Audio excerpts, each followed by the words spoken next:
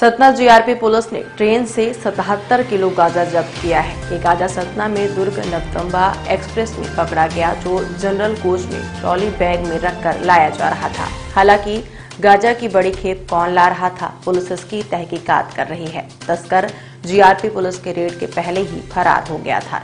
इस गांजे की अनुमानित कीमत करीब करीब आठ लाख रुपए आंकी गई है।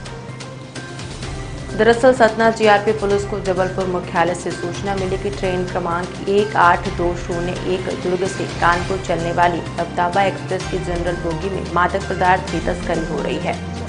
सतना जीआरपी पुलिस ने शनिवार रात जैसे ही ट्रेन प्लेटफॉर्म नंबर तीन में रुकी, इंजन के दूसरे नंबर के बोगी की तलाशी ली। पुलिस की जाँच में चार ट्रॉली बैग और तीन झोले मिले।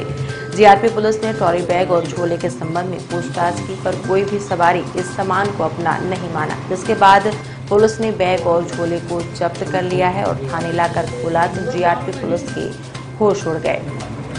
ट्रॉली बैग और झोले में ऊपर कपड़े मिले, लेकिन अंदर गांजा पैकेट थे।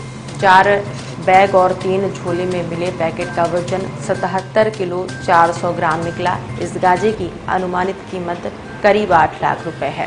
हालाँकि, इस मामले में कोई तस्कर पुलिस के हाथ नहीं लगा है। पुलिस अज्ञात व्यक्तियों के खिलाफ मामला दर्ज कर तफ्तीश शुरू कर दी है। पुलिस की माने तो छत्तीसगढ़ और उड़ीसा से आने वाले ट्रेनों में कई बार मादक पदार्थ, गांजा पकड़ा जा चुका है। जबलपुर कंट्रोल रूम से सूचना प्राप्त हुई थी कि ट्रेन दुर्ग नौतनवा एक्सप्रेस के इंजन से दूसरी जनरल डिब्बा में अवैध गांजा, मादक पदार्थ आ रहा है। जिसकी सर्चिंग करें। सर्चिंग में जो है सौ सत्तर किलो चार से दस ग्राम गांजा बरामद हुआ है। करीब सात लाख चौहत्तर हज़ार कीमत का और आरोपी की तलाश की जा रही है।